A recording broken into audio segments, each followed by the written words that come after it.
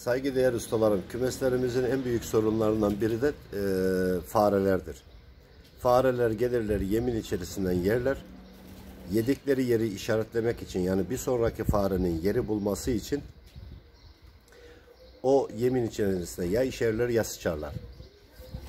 Bunu da yarın ertesi gün e, hayvanlar yediği zaman bakteri almış olurlar. Yani birçok hastalığın kapısını açarlar. Yani güvercin kümeslerinde bu çok büyük bir sorundur. Ve kimse farkında da değil. Yani hastalığın e, e, at sinekleri bitkilere hastalık verdiği gibi bakteri kuşlara kanını emerken fareler de aynı işi yaparlar. Şimdi bu konuda size bir taktik söyleyeceğim ben.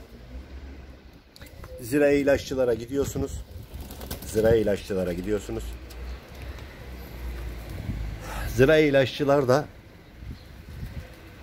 e, şöyle söylüyorsunuz. Şimdi e, ben ismini bilmiyorum. Zaten isim de açıklamak istemiyorum çünkü marka reklamı oluyor. İsmini de bilmiyorum ama. Ben bunu yaptım yıllar öncesi. O gün bugün de yok çünkü zaten kümesi korunaklı farenin gireceği yeri yok şu an. Fare yemi yedikten sonra aşırı bir su içme isteği hissediyor. Suyu içtiği zaman aldığı o yem bağırsaktan çıkmıyor. Orada taşlaşıyor. Güvercini kurutuyor, öldürüyor. Kurutup öldürüyor. Şimdi zirai ilaççıya gittiğiniz zaman diyeceksiniz böyle bir böyle palet yeme benzer bir yem veya tozu da olabilir. Ee, bunu kümeste nasıl vereceksiniz? Bu önemli. Zirai ilaççıdan aldınız.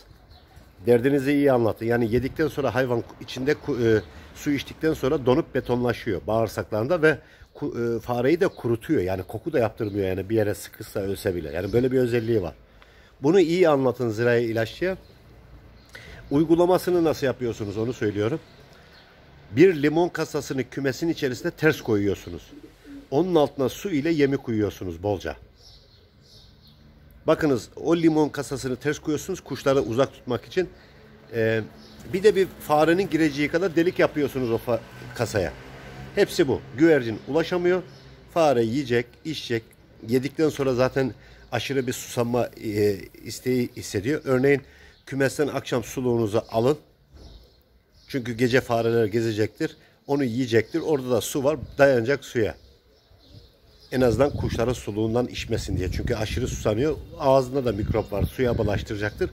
Onun için akşamdan suyu alın. Sabah gittiğinizde kuşların suyunu koyabilirsiniz. O limon kasası 10 gün kadar orada kalsın. Altını gündüz kontrol edin. Yemi bittiyse farenin tekrar yemlemeyi yapın. Bu şekilde uygulama yapın.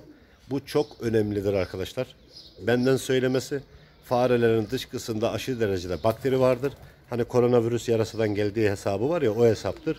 Onun için birçok kuşlarınız da bedavadan bu yüzden hastalanıyor. Bir sonraki videoda görüşmek üzere Allah'a emanet olun.